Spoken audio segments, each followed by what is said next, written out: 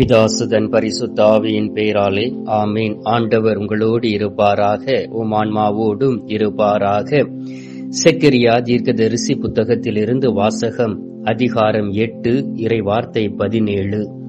ஒருவருக்கு எதிராக மற்றொருவர் தீமை செய்ய மனதாலும் நினைக்க வேண்டாம்.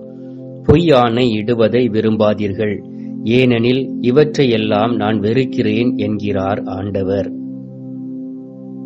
ஆண்டவரின் அருள்வாக்கு இறைவா உமக்கு நன்றி.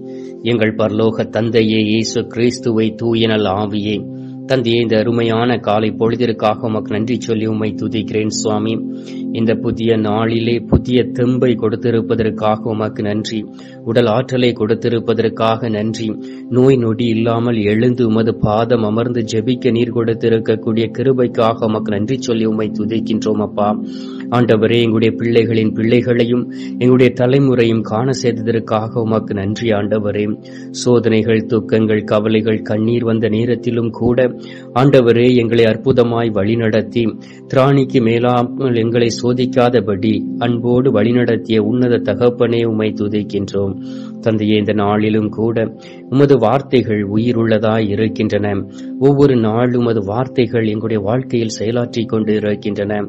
இந்த நாளிலும் நீர் எங்களுக்கு கொடுத்து இருக்கின்றீரே. ஒருவருக்கு எதிராக மற்றொருவர் தீமை செய்ய மனதாலும் நினைக்க வேண்டாம் என்பதை.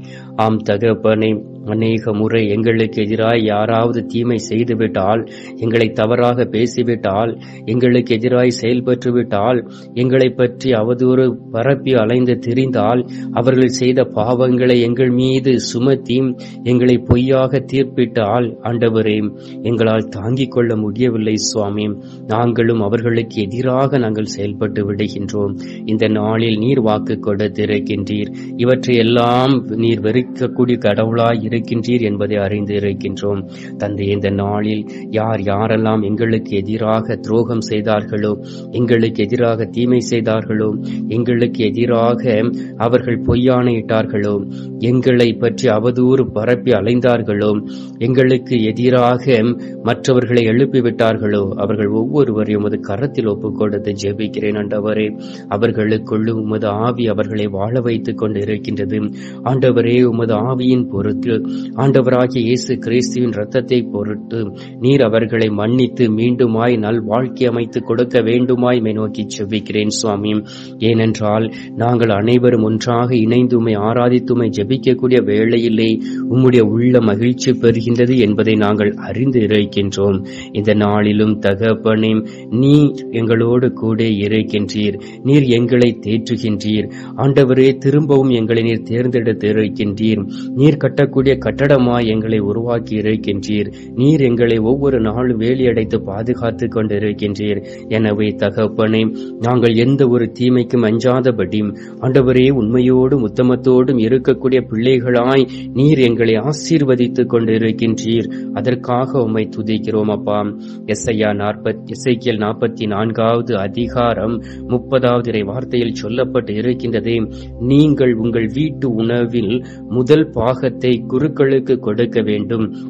அதன் மூலம் உங்கள் வீட்டில் இறையாசி தங்கும் என்று சொல்லி ஆம் தகப்பனே உம்மால் தேர்ந்தெடுக்கப்பட்ட பிள்ளைகளுக்கு உதவி செய்யக்கூடிய நேரத்திலே ஆண்டவரே உம்மால் தம்மை அழைத்து ஆண்டவரே அந்த அழைப்புக்கு ஏற்க நடக்கக்கூடிய பிள்ளைகளுக்கு உதவி செய்யக்கூடிய நேரத்திலே உண்மையிலும் உண்மையாக அந்த குடும்பங்கள் ஆசீர்வதிக்கப்படும் என்பதை எசைக்கியல் தீர்க்கதரிசின் வழியாக நீர் சொல்லியிருக்கின்றீர். அதே போல் தகப்பனே எந்த குருவானவரையும் எந்த ஆண்டவரால் அழைக்கப்பட்ட பிள்ளைகளை பற்றி தவறாக பேசுகிறவர்கள் உமது கண்மணியை தொடுகிறார்கள் என்று எசைக்கியல் எசைக்கிய தீர்க்கதரிசி அழகாக சொல்லுகின்றார். இந்த நாளிலும் தகப்பனை யார் யாரெல்லாம் குருக்களுக்கு எதிராக சகோதர சகோதரிகளுக்கு எதிராக ஆயர்களுக்கு எதிராக கிளர்ச்சி செய்து அலைந்து திரிந்து கொண்டு இருக்கிறார்களோ அவர்களை பற்றி தவறாக பேசி பொய்யானவற்றை பரப்பிக் கொண்டிருக்கிறார்களோ அவர்கள் ஒவ்வொருவரையும் அது கரத்தில் ஒப்புக் கொடுத்து ஜெபிக்கிறேன் சுவாமி. தந்தையே இந்த நாளில் அவர்கள் உம்மை அறிந்து கொண்டு ஆண்டவரே அவர்கள் உம்மை நோக்கி இருக்கும்படியாகவும் அவர்கள் வழியாக பாவ மன்னிப்பு நிச்சயத்தை பெற்றுக் கொள்ளும்படியாக உம்மை நோக்கி செபிக்கிறோம் ஆண்டவரே. தகப்பனே எல்லா சூழ்நிலைகளிலும் மற்றவர்களை ஆசீர்வதிக்கக்கூடிய பிள்ளைகளாய் எங்களை மாற்றிடுவீராக. தூயாதி தூயவரும் பரிசுத்த தெய்வமாய் இருக்கக்கூடிய நீர் ஒவ்வொரு நாளும் எங்களுடைய மன்றாட்டை கேட்டுக்கொண்டு இருக்கின்றீர். ஆண்டவராகிய இயேசு கிறிஸ்துவே இன்னும் சில நாட்களில் உமது பிறந்த நாளை கொண்டாட நாங்கள் எங்களை தயார் விசாரித்து கொண்டு இருக்கின்றோம் தகப்பனே. உமது பாலன் இயேசுவாகிய ஆண்டவரை பார்ப்பதற்கு நாங்கள் தவித்துக் கொண்டு இருக்கிறோம் ஆண்டவரே. உமது திருமுகத்தை பார்த்து அந்த பாலன் இயேசுடைய முகத்தை பார்த்து நாங்கள் அருளையும் இரக்கத்தையும் பெற்றுக்கொள்ளக்கூடிய பிள்ளைகளாய் இருக்கிறோம் அப்பா. தந்தையே இறைமையா தீர்க்கதரிசி புத்தகம் முப்பத்தி மூன்றாவது அதிகாரம் மூன்றாவது இறை வார்த்தையில் சொல்லப்பட்டு இருக்கின்றதே. என்னிடம் அன்றாடு உனக்கு நான் செவி சாய்ப்பேன். நீ அறிந்திராத மாபெரும் செயல்களையும் மறை பொருள்களையும் உனக்கு நான் விலைக்கு கூறுவேன் என்று சொன்னீரே. ஆம் தகப்பனே உமை நோக்கி நாங்கள் மன்றாடுகிறோம் அப்பா. ஆண்டவரே ஒரே குடும்பமாய் அமர்ந்து மது பாதத்தில் இருந்து நாங்கள் மன்றாடுகிறோம் சுவாமி. கல்வாரி பாதத்தை தேடி வந்து பாவமன்னிப்பு நிச்சயத்தை பெற்றிருக்கிறோம் அப்பா.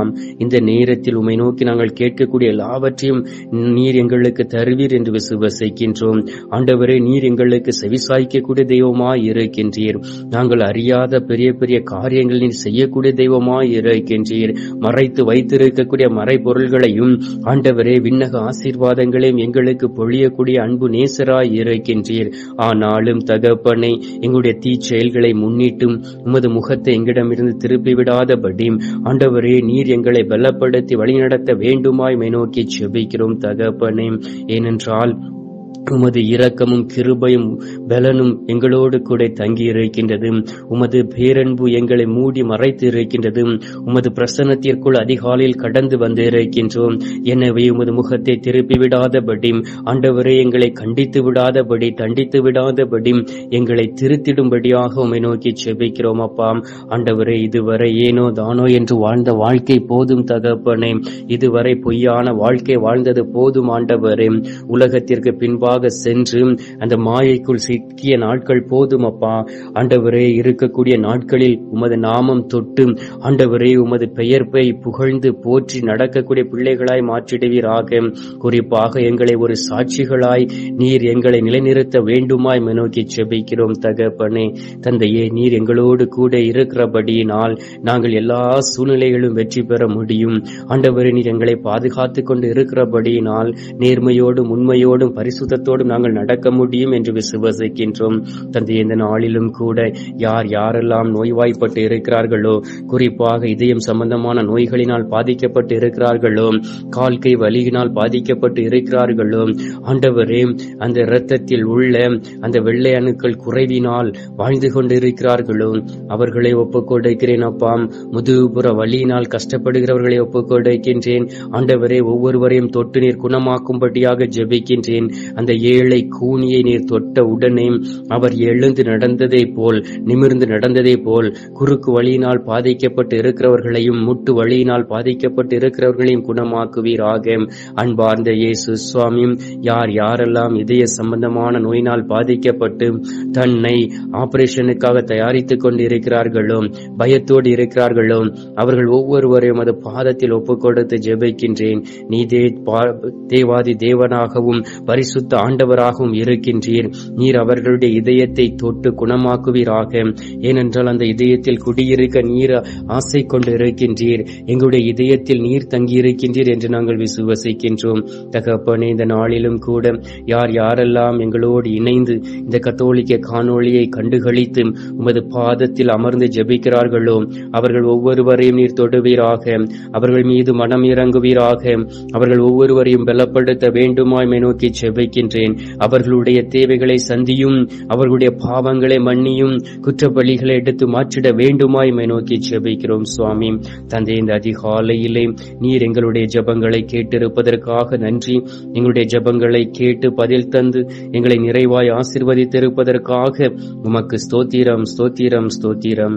மீட்பெரும் இரட்சகருமான இயேசுவின் திருக்கரத்தில் ஒப்பு கொடுத்து எங்கள் தாய் கன்னிமரியாள் வழியாக ஜெபிக்கின்றோம். எங்கள் நல்ல தந்தையே ஆமீன் ஆமீன். பரலோகத்தில் இருக்கிற எங்கள் பிதாவே உம்முடைய நாமம் அச்சிக்கப்படுவதாக உம்முடைய ராஜ்யம் அருக உம்முடைய சித்தம் பரலோகத்தில் செய்யப்படுவது போல பூலோகத்திலும் செய்யப்படுவதாக எங்கள் அணுதின உணவை எங்களுக்கு இன்று அளித்தருளும். எங்களுக்கு தீமை செய்கிறவர்களை நாங்கள் பொறுப்பது போல எங்கள் பாவங்களை பொறுத்தருளும். எங்களை சோதனை உள்ள விடாதையும் தீமையில் இருந்து எங்களை ரசித்தருளும் ஆமேன்.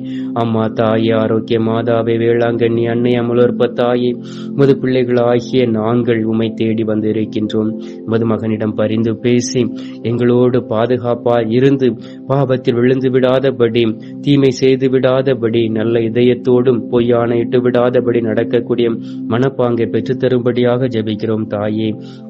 அருள் நிறைந்த மரியே வாழ்க கர்த்தர் உடனே பெண்களுக்குள் ஆசிர்வதிக்கப்பட்டவள் நீரே. உம்முடைய திரு வயிற்றின் கனியாகிய இயேசும் ஆசிர்வதிக்கப்பட்டவரே.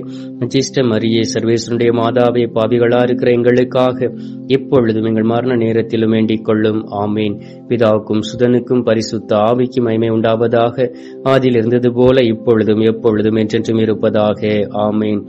ஆண்டவர் உங்களோடு இருப்பாராக. உமான்மாவோடும் இருப்பாராக. எல்லாம் அல்ல இறைவன் பிதா சுதன் பரிசுத்தாவி உங்களை ஆசீர்வதிப்பாராக. ஆமீன்.